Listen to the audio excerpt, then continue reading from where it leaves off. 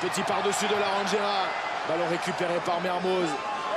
Et derrière, la chevauchée de Dylan Hermitet. Dylan Hermitet a des solutions. Il a poussé au pied parce qu'à ses côtés, il y avait Rudy Wolf. Rudy Wolf sera peut-être le premier. C'est de Rudy Wolf dans leur but, déserté par les brévistes.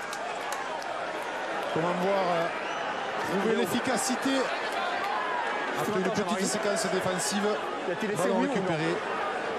Y a-t-il essai ou non Voilà la question, monsieur Gahuzer. Je crois qu'il n'y a pas de doute là-dessus. On va quand même vérifier la vidéo. Freddy Wolf avait gardé un une bon mètre d'avance sur euh, ses poursuivants. Bah, pour moi, il y a bien essai. D'accord Ça te va?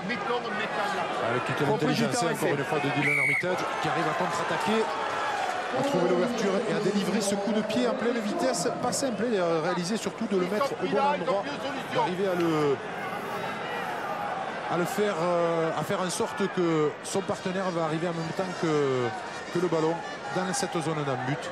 Il aurait peut-être pu simplement le servir à la main.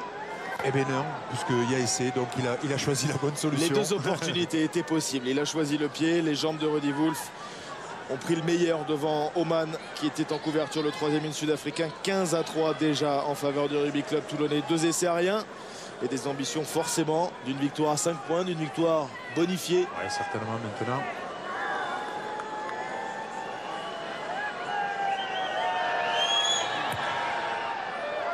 et c'est encore manqué par James O'Connor